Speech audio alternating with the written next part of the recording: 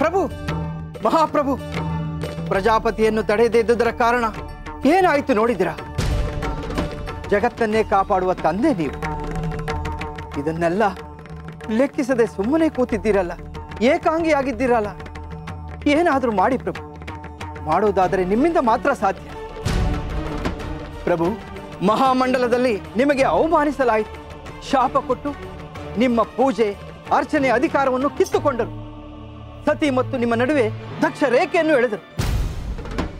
ಏನನ್ನೆಲ್ಲ ಮಾಡಿದರು ನೀವು ಒಂದು ಬಾರಿಯೂ ಉತ್ತರ ಕೊಡಲಿಲ್ಲವಲ್ಲ. ಏನೂ ಮಾಡಲಿಲ್ಲವಲ್ಲ. ನಾನು ಹೀಗೆ ಹೇಳುತ್ತಿದ್ದೇನೆ ಎಂದು ತಪ್ಪು ತಿಳಿದುಕೊಳ್ಳಬೇಡಿ ಪ್ರಭು. ನೀವು ಹೀಗೆ ಸುಮ್ಮನೆ ಇರುವುದರಿಂದಲೇ ಆ ದಕ್ಷನು ಹೀಗೆ ಮಾಡುತ್ತಿರುವುದು. ಅವನ ಅಹಂಕಾರ ಹೆಚ್ಚುತ್ತಿರುವುದು.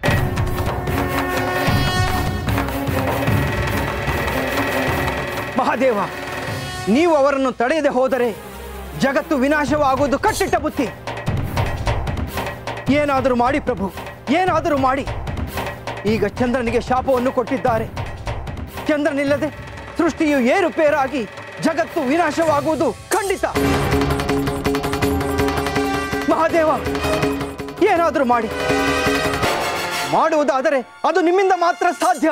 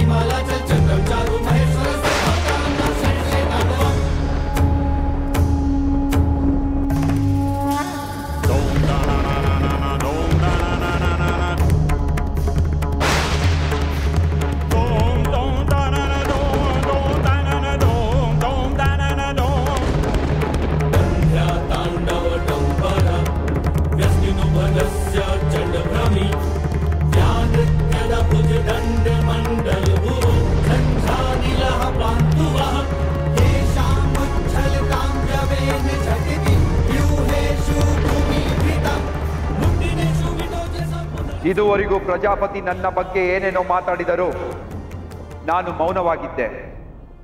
ಏಕೆಂದರೆ ನನ್ನ ಮನಸ್ಸಿನಲ್ಲಿ ಅವರಿಗೆ ಯಾವ ಮಹತ್ವವೂ ಇರಲಿಲ್ಲ. ಅವರ ಕುಟುಂಬದ ವಿಚಾರದಲ್ಲಿ ನಾನು ತಲೆ ಹಾಕಲಿಲ್ಲ. ಅವರ ಯಾವುದೇ ನಿರ್ಧಾರವನ್ನು ವಿರೋಧಿಸಲಿಲ್ಲ. ಏಕೆಂದರೆ ಅದು ಅವರ ವೈಯಕ್ತಿಕ ನೆಲೆಯಲ್ಲಿ ನಡೆಯುವ ವಿಷಯ.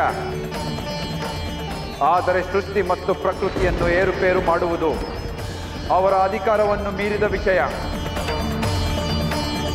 ಯಾರಾದರೂ ತಮ್ಮ ಅಧಿಕಾರದ ಮಿತಿಯನ್ನು ಬಿಟ್ಟು ಅಹಂಕಾರವನ್ನು ಪೂರೈಸಿಕೊಳ್ಳಲು ಹೆಜ್ಜೆ ಇಟ್ಟರೆ ಅವರ ವಿನಾಶ ಅನಿವಾರ್ಯ.